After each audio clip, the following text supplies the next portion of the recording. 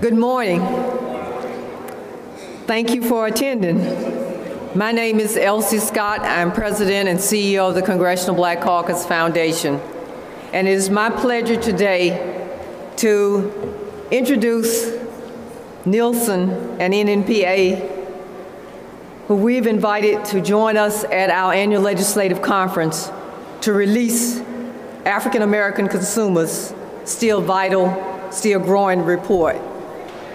They released their last consumer report during the annual legislative conference, but we are happy that they chose to be here at the convention center to release their report today because we consider it to be very vital to all of the people who are attending our conference here.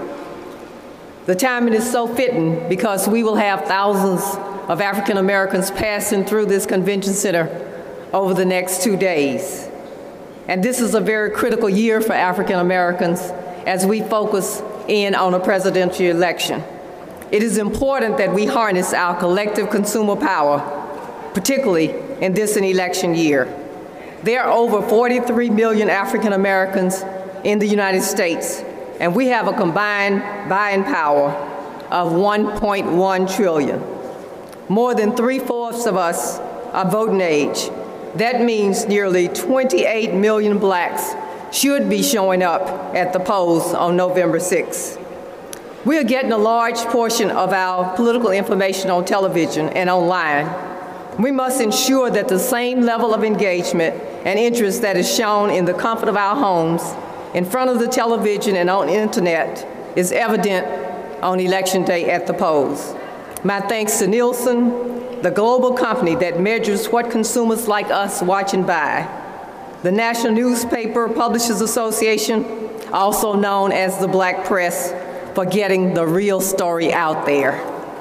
Now it is my pleasure to welcome Susan Whiting, Vice Chair of Nielsen.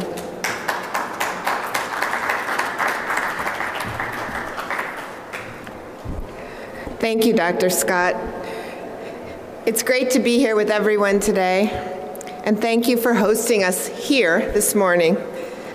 As Dr. Scott referenced, Nielsen measures what consumers watch and what consumers buy. Our clients count on us to provide the most current and inclusive information about consumers in more than 100 countries. Savvy marketers recognize that without consumer support, products and brands can literally disappear. By understanding the unique lifestyles, habits, and shopping patterns of African American consumers, companies can enhance their chances of creating better connectivity with this important consumer segment.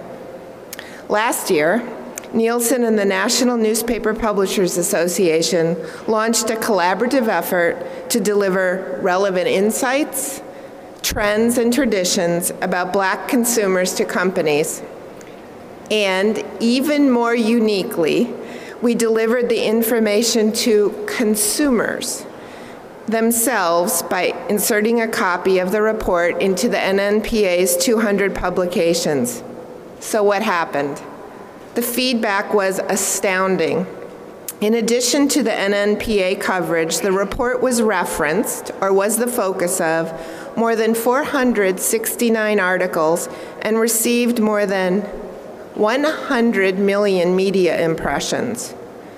Almost 3,700 copies of the whole report were downloaded from Nielsen's website directly, and thousands more were distributed at local national African American events, including the NAACP National Conference, the National Urban League Conference, and Rainbow Push's National Conference, 100 Black Men National Conference, and even Steve Harvey's Hoodie Awards, just to name a few. Over 1,100 corporate individuals participated in a Nielsen webinar for clients about the results. We received more than 200 inquiries from our major clients, the companies that produce products and programs. Seven of our clients invited us in for very deep one-on-one presentations to discuss how they could use this information to better connect their brands with African American consumers. And the report even won two awards the 2012 International Association of Business Communicators Bronze Quill Award of Merit and the 2012 Publicity Club of Chicago Golden Trumpet Award for Community Service. So we stand here proudly before you this morning to announce that once again, Nielsen and the NNPA are releasing a report which highlights the value of the African American consumer. We've called it The African American Consumers Still Vital, Still Growing in 2012. NNPA's publishers will insert it in their publications, essentially reaching 19 million readers, and Nielsen will continue to share the information with our clients and other companies. NNPA's mission to inform and educate its readers and its steadfast reputation as being the primary and critical resource for influencers, local and national elected officials, and members of the African American community make it an ideal organization with whom Nielsen can collaborate on such an important endeavor. Their quest to tell the African American story is in sync with our emphasis on providing only the best and the most inclusive methodological insights and information to our clients about all consumers. This is a story worthy of being told together, and we're proud to have the opportunity to tell it with the NNPA. I do want to extend a very special thanks to Dr. Scott to the Congressional Black Caucus Foundation and its members for the opportunity to release this year's report right here during the 42nd Annual Legislative Conference. We hope that your members and constituents will find the information contained relevant, helpful, maybe a little surprising, and conducive to having a positive impact within African American community. We hope it's an insightful tool for your theme of inspiring leaders, building generations. Nielsen has three external advisory councils who make sure that we're guided in the right direction, measuring multicultural consumers, and who help us create brand awareness in these communities. And today I want to acknowledge members of our external African American Advisory Council who are present and who've helped us tell the African American consumer story. Mr. Vic Bullock, Executive Director of the Hollywood Bureau of the NAACP, Reverend Jacques DeGraff, Associate Pastor of Canaan Baptist Church in Harlem, Pam Fisher, Vice President of Corporate Diversity with News Corporation, Matthew Barnhill, Executive Vice President Market Research with BET, and Adonis Hoffman, founder and chairman of the American Business Leadership Institute. And all of this wouldn't be possible if it weren't for the hardworking and dedicated public affairs team we have at Nielsen. And I want to personally thank you for all the work you do. We have a few present here today. Don Lowry, Don, I know you're there, wait, wait. Cheryl Pearson McNeil, Courtney Jones, Rebecca Roussel, and Vanessa Figueroa. And with that, it's my pleasure to welcome Reverend Jacques DeGraff, co-chair of Nielsen's External African American Council. Thank you. Good morning. I am a member of the External African American Advisory Council uh, since its inception, but simply put, uh, there's another title that we could add that we've come this far by faith. It, it didn't just happen. In addition to being associate pastor at Canaan Baptist Church, I'm a first vice president of the 100 Black Men.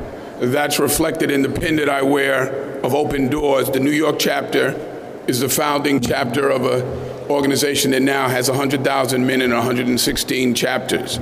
The reason I mention that is because when we first approached Nielsen, who have always been the best at what they do, we were concerned that the new technologies would leave our communities behind, that we would be undercounted with this new technology. And sometimes when you get the new and the greatest and the fastest, it can leave out some folks. Now, Nielsen could have taken an affront to that. They could have taken an adversarial approach. Instead, they invited us to come into the table and sit down. And then they did something extraordinary. They listened. Now, some folks are not used to being listened to, they're used to speaking through a bullhorn. And so when someone says, We want you to come in and sit down and listen to you, That's how we can grow. And over time, we learned one thing that diversity is good for business. I, I need to repeat that uh, because somebody needs to hear that. Diversity is good for business. The reason we lasted all this time is because they saw the results and how it affected their bottom line. And the information that they have gathered is extraordinary. It should be required reading in every African American household and anyone in America who calls themselves a leader. Because what we watch and what we buy not only reflects habits, but it reflects values. And corporations that better understand the unique lifestyles, habits, and shopping patterns of black consumers can use that information to help grow their market share. It doesn't get any simpler than that. Companies respect Nielsen's analytical insights. And so this partnership has got teeth and roots. And we respect companies that begin doing business differently by developing more inclusive marketing and branding strategies. What does that mean? It means that when companies receive and understand this information about our communities, they change. They do business differently, and it's to our benefit.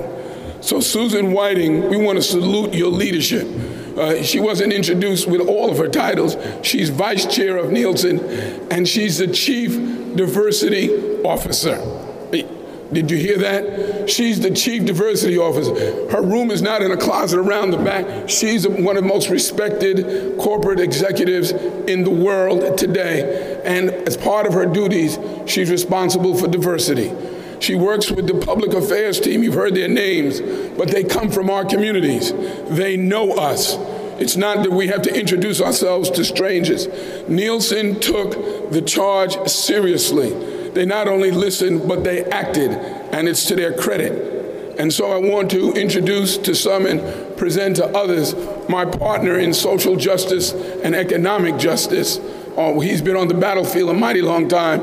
He's not just the executive director from Hollywood, he's a producer and a media star in his own right, my friend, Vic Bullock. Good morning, everybody. Uh, always having to follow a reverend is, uh, you know, a, a, task. So um, I really just want to, to, stand here. I'll keep my comments brief because this has been a, a long road and it's been a, a, really phenomenal partnership and relationship with Nielsen uh, and the best practice I think that they have uh, created as a, as a corporation in recognizing the importance of our community, not just with the release of this report and the work that they're now doing with the NNPA to get out information, but also working with the advisory council in regards to the our community and other communities uh, reaching out and making sure that we are represented so that our power and our voices are recognized within their reporting, which impacts and influences all media. And we cannot talk about how powerful the information that uh, Nielsen disseminates is. And in that regard, partnering with the NNPA and their 19 million readers and their 200 publications is extremely significant. Uh, and the information that goes to the 43 million African American consumers. Uh, I want to thank all the members that are here from the Advisory Council. Their work is uh, tireless uh, and continual. Uh, it really has been a, a, bit of a historic journey from the beginning where it was kind of adversarial to now where it is kind of authentic and organic throughout the whole uh, Nielsen uh, family and all their companies. Uh, so what can this information and how can the average consumer use this to make a difference in their community? One, seek out the products and services, including websites and online options that address your specific needs. And hopefully this report will give you some guidance in that regard. And also support the retailers in your communities that provide the products and services that you need and also that support your community. And that's the information, and that you will see in regards to the NNPA that speaks to our communities weekly. Um, and each purchasing decision that you make impacts your community and our community. So please uh, think about how you use your spending dollars. And I know that's a theme the NNPA uh, and Clovis you guys address all the time. So we encourage consumers to choose and use your power wisely, and that's single mothers, baby boomers, Generation Y, all consumers. You have dollars and your dollars matter, and that's what this report points out. Thank you all for being here and getting the word out. Oh, it is now my pleasure.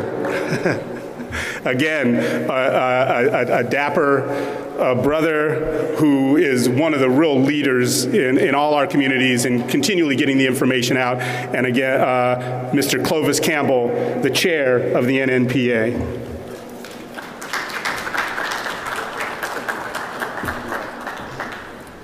Thank you, Vic, and uh, good morning to everyone. I know that uh, you've had a lot of places you could be today, and we're glad to see you here. You know, it's our pleasure to uh, work side by side with Nielsen, and particularly Susan, as uh, we go into the second consecutive year of working on this study. Uh, we've continued to appreciate the efforts of Nielsen and their partnership with us and them championing the cause of African American consumers throughout the country.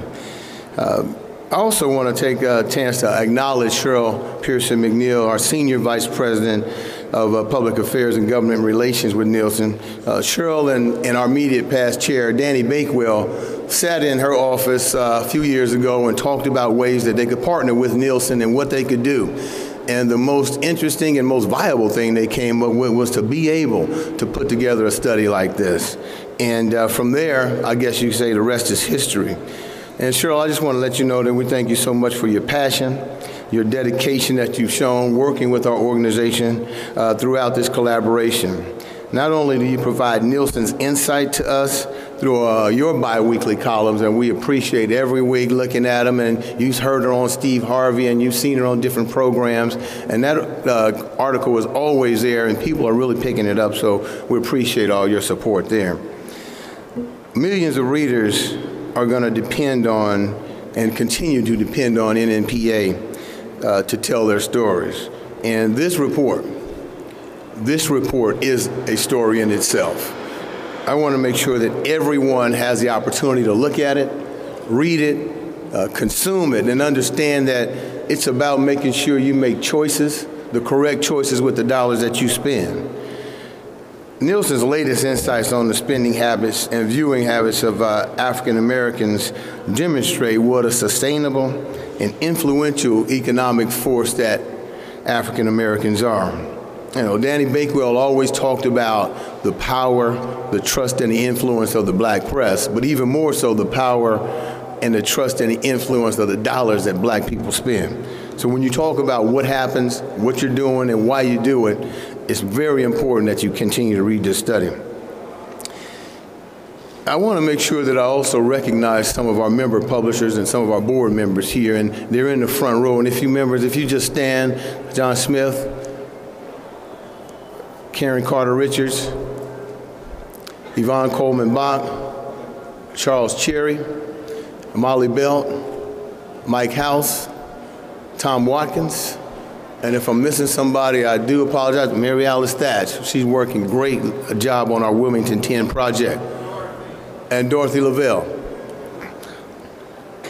We are happy to be a part of this program. We're excited about the process. Even more so, uh, we're excited about the fact that everybody has jumped on board. Folks like the NAACP, Reverend Jackson with Push Excel, and many others.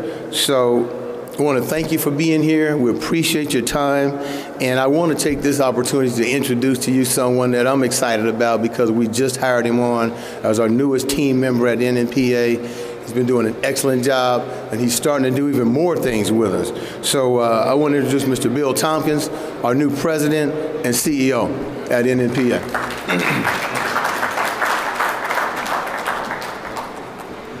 Good morning, everybody.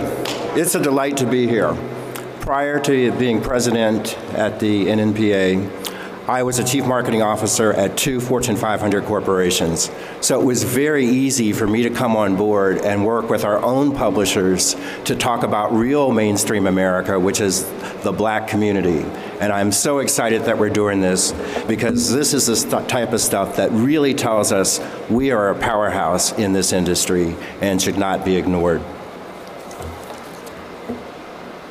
Unfortunately, a lot of marketers underestimate the opportunities in the black community. Blacks want more products that are important for them and relevant to their particular needs. They're frustrated. How many people do you see in television shows, in ads, in messaging, in point of purchase communications? There's a missed opportunity. And companies that don't advertise in the black media risk having African Americans perceiving them as being dismissive of issues that are important to them. And the numbers really tell the story. We spend a lot of money, we have a lot of preferences, we watch a lot of, more television than any other group. 54% of us and more own smartphones, and some of us own many smartphones. We buy more products, especially in the health and beauty areas, than the mainstream consumer and brands represent 82% of the purchases in our households. We are very brand loyal, and that's an opportunity, but for those who don't have brands, it's an opportunity to come and sell to our community. We're very active, and most important, we're engaged. But there's a story that most people don't understand. In magazines, television, radio, over $2.1 billion was spent in 2011. Well, that's great. But guess what? Over $150 billion has been spent in the general media. We're getting less than 2% of the advertising dollars spent in this country, and that's not acceptable. Because we are engaged, we're buying, and yet the dollars are not coming to us. And when we talk about the power of our publications and how engaged we are with them, there's an absolute missed opportunity general media does not cover us as well as we cover ourselves. Now, when you take a look at this report, and we're happy that it's coming out today, a couple of things to remember. 91% of African American consumers believe that black media is more relevant to them. 81% believe that products advertised in black media are more relevant to them. 78% would be more like to, would like to see more black models, more actors, and more than 50%, 50% would purchase the product if the advertising portrayed blacks in a positive environment. So, marketers, there's an opportunity out here. The black community is saying you need to pay attention to us because we are willing to buy when we see you paying attention to us. So the opportunities are unlimited. Let's get more of that $150 billion. We only need a couple billion more. We are glad to support this. We are glad to support this effort, and we're glad that we have a great partnership with Nielsen. Now, there are two people we'd like to introduce before we take questions. Uh, you've heard them mentioned. I'm going to ask them to stand up and make a couple of remarks. Uh, two distinguished individuals. Uh, we'll start with Ben Jealous, president of the NAACP, and the person whom I replace, who started at NNPA. Ben?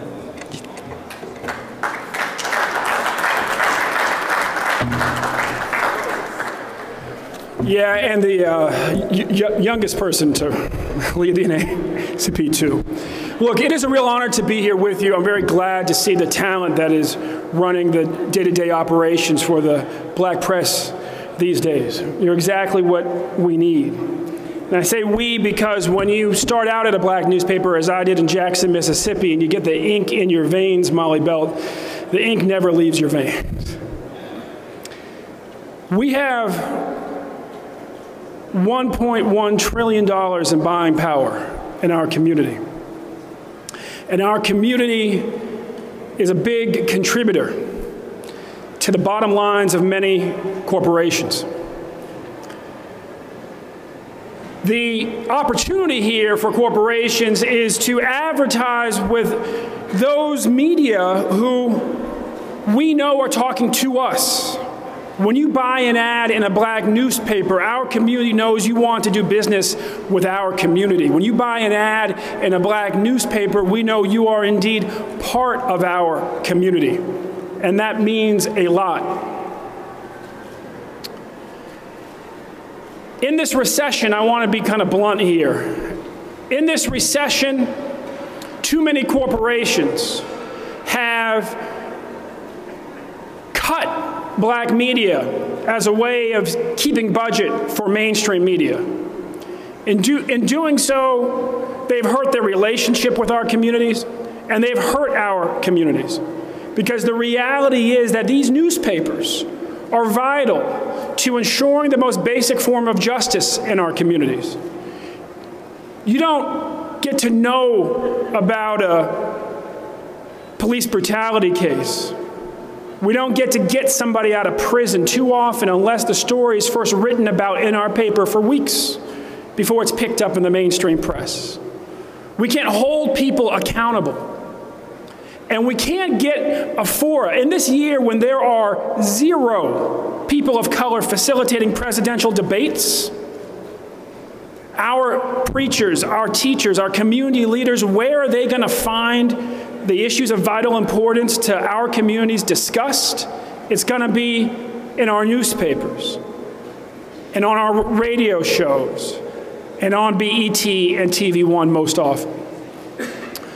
And so I hope that our friends and corporations across the country will take to heart the buying power of our community. We'll question each other as to why only 2% of the advertising budgets are spent with black media.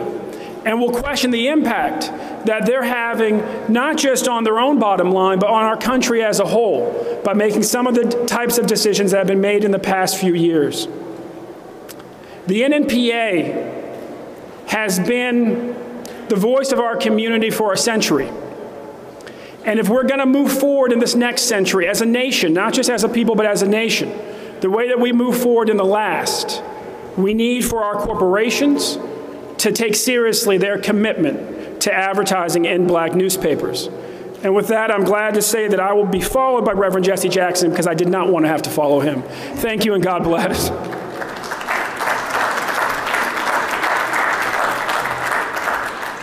Thank you. We have a lot of press here, so uh, just a couple of points of clarification, to make sure we're clear about this that in terms of the media spend in 2011, $120 billion, and our projection, which is a projection for buying power going to 2015 is $1.1 trillion. Now, let me introduce a person who needs no introduction, Reverend Jesse Jackson.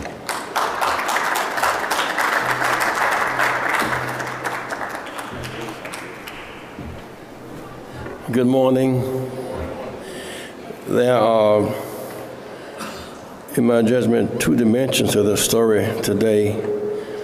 One is uh, the black media is the window to the black world.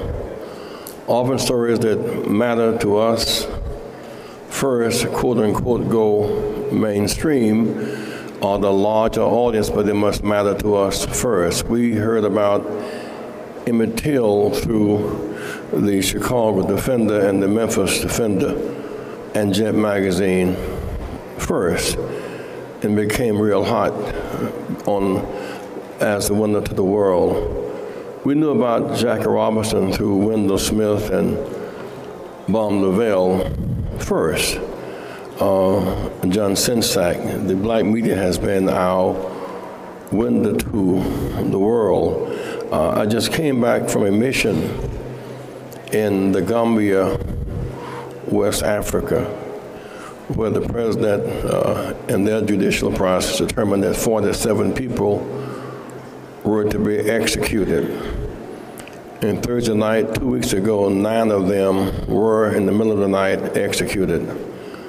Uh, because I had met President Jammeh over a period of time, called him and asked to meet with him. His foreign minister returned the call a delegation of us went to the Gambia, West Africa, uh, on last Sunday and met with him on Monday. and he agreed, A, to declare a moratorium on the killing of the 38. They will not be executed. We're still trying to gain their freedom. But there were two American Gambians whose freedom we did negotiate, and they're here today. As a matter of fact, come here.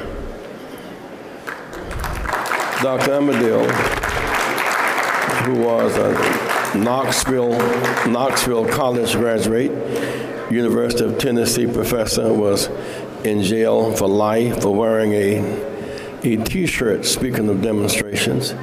Uh, and Thomas Hill was in jail for 20 years and, uh, and served six and a half years in jail in the Gambia. And we were able to negotiate their freedom just this past, uh, well, Tuesday, as a matter of fact. Uh, you would not have recognized them yesterday because they had on their shower shoes. Uh, the plane left at 10 o'clock at night. They would only let them out at 8 o'clock. They told them to go back to the uh, cell to get their shoes and their remaining items. They did not go back. They left running in their shower shoes. They, they never came back. And in the case of uh, Brother Thomas Hill, his wife and two children who were in the Gambia, they were able to catch the plane with us and to come back. And so we thank God for their presence today. Uh, and when we did the Tom Joyner show uh, yesterday with Roland Martin, and Roland said, well, why hasn't this been in the, the mainstream media? Roland said, well, that's how they cover us. That's what, that's what this is all about. That's how they, so if we don't tell the story, the story will not be told. George Curry remembers we went to um, uh, get Lieutenant Robert Goodman out of Syria, and that was a tough negotiation. Reagan said, you shouldn't go because you don't know what you're doing. You may mess up, but if you get him, bring him back to the White House. And we did. And we were prepared for a major press argument about how we maneuvered with Assad to get him back and the arguments that we made. And they had one question who paid the hotel bill? It was such a radical disregard for what happened, the ingenuity involved, the organization involved. And yet here's another case of when, when how African American African news is not covered, and by extension the African American news. And one of the weaker dimensions, George, as we begin to think more globally, uh, Cheryl, is that um, we could not make a case to for him to not execute the people because they saw us execute Troy Davis. This weekend, this weekend, a year ago, Troy Davis was killed. So he stopped killing 38, and the governor of Georgia wouldn't stop killing one. Or one of Gene Allen in Oklahoma, or the killing which are bragging pieces for Perry in Texas. So our own capital punishment program here weakens our ability to negotiate in the world. We can't tell them not to lock up innocent people politically. We've got people in jail 25 or 30 years, in fact, who are political prisoners. And so I first want to thank you for being our window to the world. Give these men a big hand, please. Some of you, George, may want to interview them because their, their story is worth telling. The second piece I want to say briefly about the research part of this, I want to thank Susan Whiting. Susan, will you stand again? Give her a hand, please, Susan.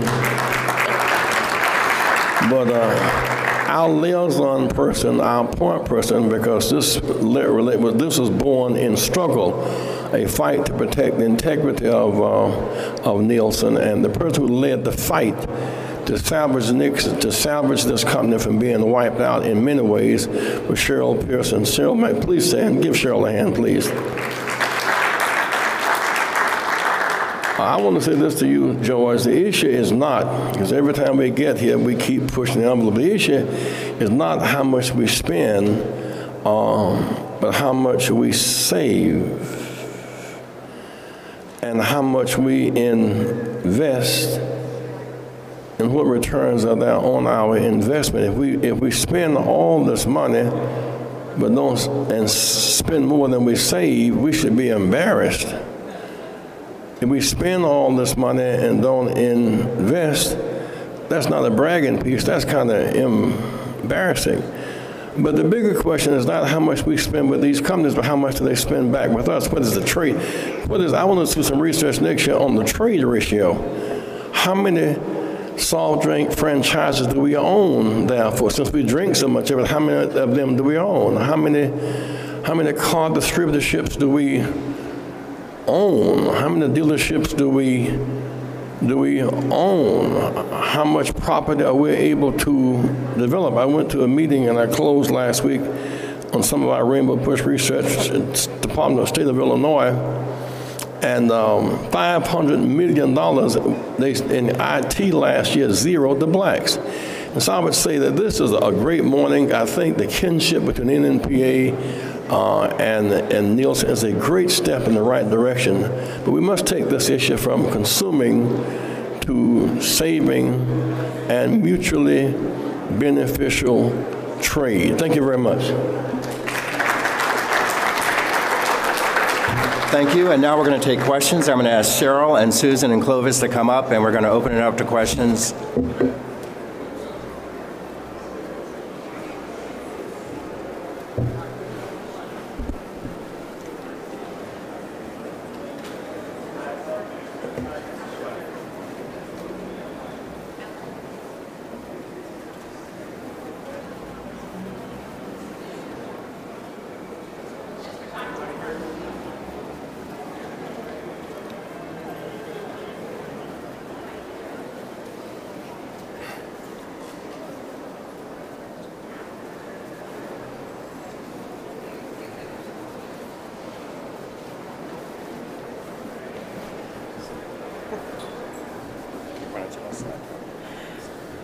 Open um, the floor for any questions if you guys have any.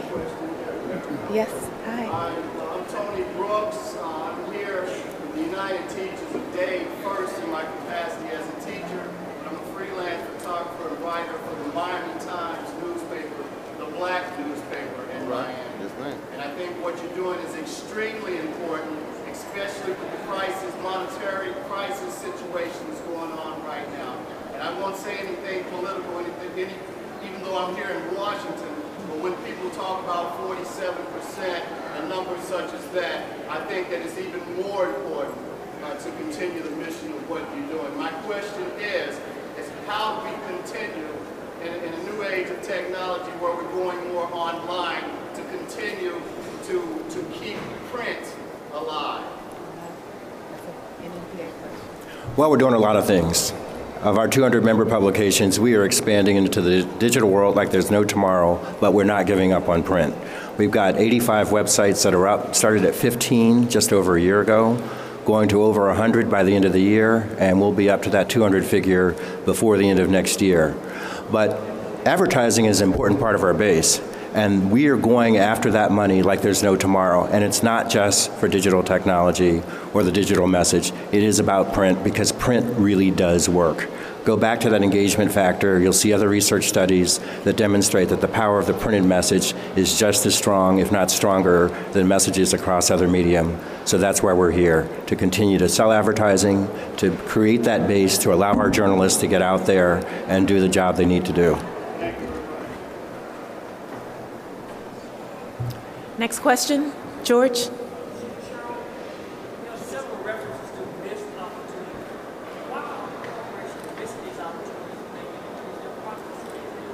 I think your question was why do corporations miss the opportunity? Some of it just maybe they may not know. And I think that's one of the important uh, factors of the publication is when we have had our clients who have engaged with the report, um, a lot of them just didn't know the value because when you talk about African American consumers in percentage points or just in percentages, and you say 13.7% of the population, if off the top of your head you don't know that there are 300 and, plus million people, you don't know what 13% of what is. And so that's why we take the time to say 43 million African American consumers. It's very important. And that's why we take the time in the report to point out that 43 million people who are black here in the United States, that's bigger than some countries. It's bigger than Canada, Australia, you know and so just as you would not ignore an entire country we think it's important for the corporate world to understand 43 million people we're not a homogeneous group we think differently. Our ages are different. The different ages indicate that we have different spending and purchasing habits, and those need to be tapped into as well. And so that's why the report is so important so that the corporations actually have the information at their fingertips. Any other questions? Next question? Yes, sir.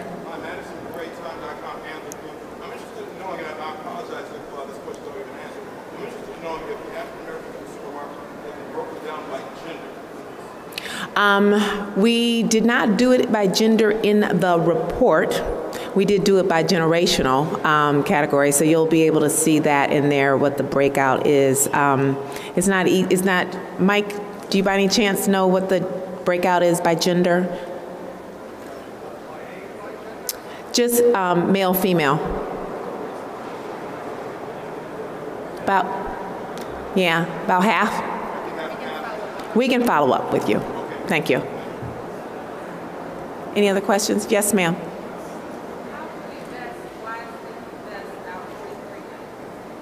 How do you invest? So the 43 million is the number of consumers, African American consumers in the United States. There are 43 million. And in terms of investing, um, I'm going to turn that over to someone who may be able to talk about an investment perspective because we actually, I don't do investments, so I don't feel comfortable answering that question. Okay. Sorry, investments.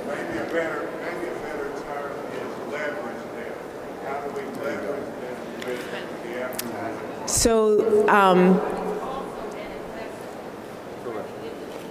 So just in terms of understanding the decisions that you're making before you purchase any products, before you use a service, understanding the company that you're purchasing those products with or spending the money with or using their services, I think is a great way to make sure that we're investing back into our communities by using companies that are supportive of us. You know, and, and, to that point, if you look around the room today and at the conference all week, you'll see sponsors here. Those are the people that support you and the organizations that you care about. And that's what we've been trying to put across is that we want you to become conscious consumers and understand that when you spend your money, it means that you're giving back from people who've given to your community. So be wise. We have some of the greatest partners at NNPA this year with General Motors, with Toyota, uh, with Ford, uh, Wells Fargo, and others. So we look forward to making sure that we can get as much information about those organizations as we can. So if you can look around the room, you see McDonald's, you see these signs, go and get one of those cars, go eat one of those hamburgers, do whatever you can to support those organizations that support you.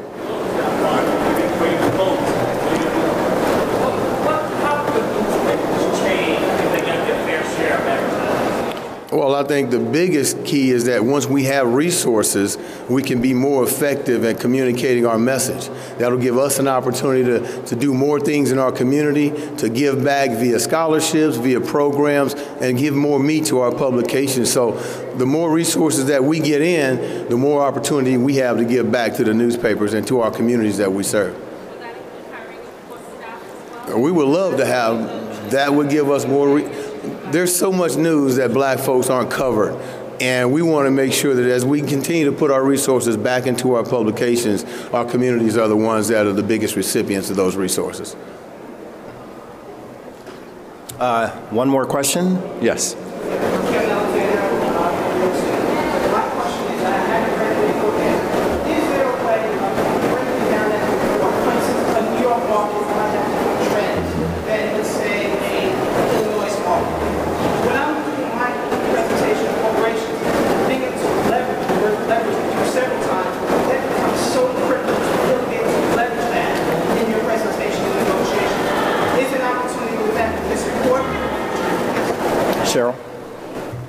Short answer to that would be yes.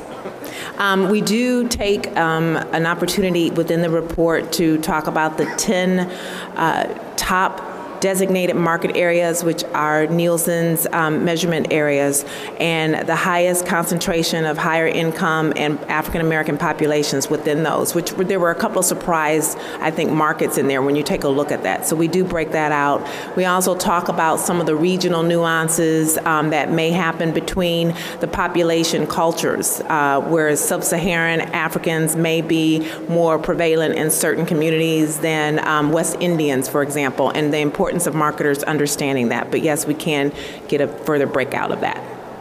Thank you. Thank you, ladies and gentlemen. Read the report and use it.